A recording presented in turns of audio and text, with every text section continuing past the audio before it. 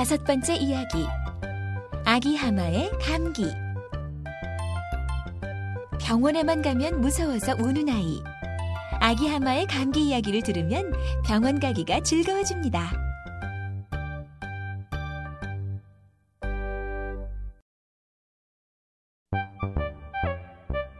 아기 하마가 감기에 걸렸어요.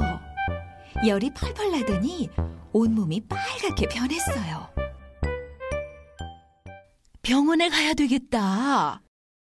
엄마 말씀에 아기 하마는 팔짝 뜁니다. 싫어요. 주사는 무서워.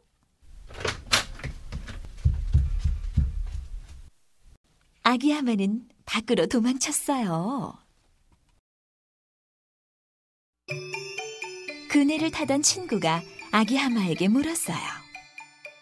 너 왜 빨갛게 되었니? 별일 아니야. 나도 같이 타게 해줘. 아기 하마가 말했어요. 아기 하마는 친구와 같이 그네를 탔어요.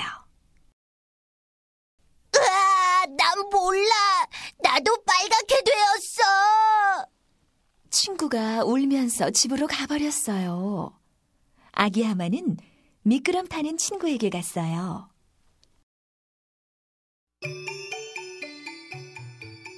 너 왜 빨갛게 되었니? 친구가 물었어요. 별일 아니야. 아기 하마는 친구랑 같이 미끄럼을 탔어요. 이 어떡해 나도 빨갛게 되었어 그 친구도 울면서 집으로 가버렸어요. 다른 친구들도 아기 하마를 두고 모두 집으로 가버렸어요. 아기 하마는 풀이 죽어서 집으로 돌아갔어요.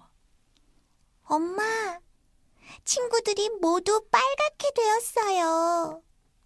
자, 어서 병원에 가서 의사 선생님께 다시 예쁜 아기 하마로 만들어 달라고 부탁드리자.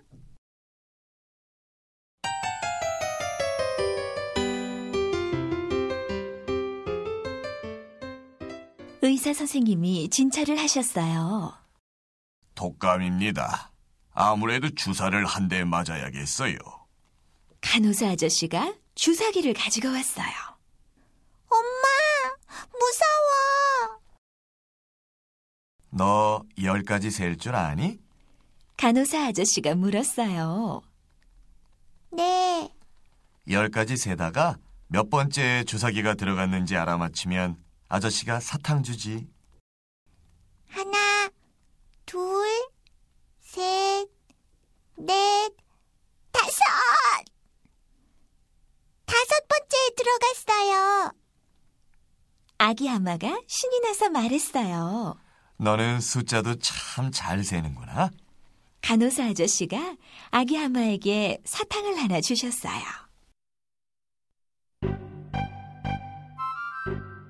주사를 맞고 나오니 빨간 친구들이 와 있었어요. 어? 어? 너 이제 원래대로 되었네. 아기 하마는 다시 예전처럼 예뻐져 있었어요. 너희들도 숫자를 잘 세면 원래대로 될 수 있어. 아기 하마는 뽐내면서 엄마랑 집으로 돌아갔어요.